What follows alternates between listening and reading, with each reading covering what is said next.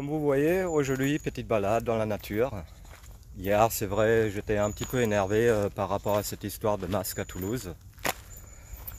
C'est toujours une aberration, mais bon, on va essayer de faire ce qu'on peut. Il faut essayer d'éduquer les gens, il faut leur montrer les vraies statistiques, que ça fait deux mois qu'en France, euh, il n'y a plus de décès. Et euh, il n'y a plus d'hospitalisation. Donc, euh, donc aujourd'hui, tranquille. On est dehors, on prend du soleil, on respire la nature, on profite bien. Il y a des études aux États-Unis qui sont sorties. Euh, je crois que c'était dans la région de New York. Ils ont euh, fait des autopsies ou des tests après les décès des gens pour regarder s'il y a une corrélation entre les niveaux de vitamine D et les décès. Ils se sont rendus compte qu'il y a une très très grande partie de la population, euh, surtout euh, des gens noirs, euh, qui sont décédés et ils se sont rendus compte qu'ils avaient des niveaux de vitamine D qui étaient assez bas. C'est d'ailleurs pour ça qu'on tombe très souvent malade en hiver. on est à l'intérieur, on travaille dans les bureaux, il y a beaucoup moins de soleil et donc nos niveaux de vitamine D baissent pas mal.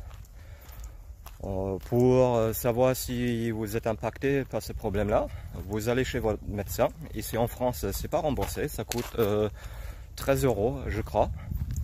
Donc vous demandez à votre médecin de faire un test de vitamine D. vous faites une prise de sang. Dans la journée ou le lendemain, vous avez vos résultats. Et si vous êtes en dessous de 30 nanogrammes par millilitre, ça veut dire que vous avez un grand risque euh, par rapport au Covid, voire même euh, par rapport à d'autres choses. Euh, ils se sont rendus compte que les gens à partir de 30-35 nanogrammes par millilitre, ils ne sont pas très impactés. Même il y a des études qui montrent que pour les femmes, si on est au-dessus de 40 nanogrammes par millilitre, ça peut réduire le risque euh, des cancers des seins euh, de jusqu'à 40%, je crois. après les 40%, je crois, c'est quand on est plutôt vers les 50-60. Donc ce que vous faites, vous faites votre test sérologique, vous regardez combien vous avez, vous essayez d'être dans des... entre 40 et 60, c'est bien. Donc si vous êtes à 40, c'est bien. Si vous pouvez monter à 50, c'est encore mieux. Et donc vous prenez la valeur qui revient. Disons par exemple, vous avez 25 euh, euh, nanogrammes par millilitre. Euh, vous achetez de la vitamine D en pharmacie, sur Amazon, ce que vous voulez. Il faut juste savoir que chaque 1000 UI que vous prenez, ça monte votre niveau sérologique de 5 nanogrammes.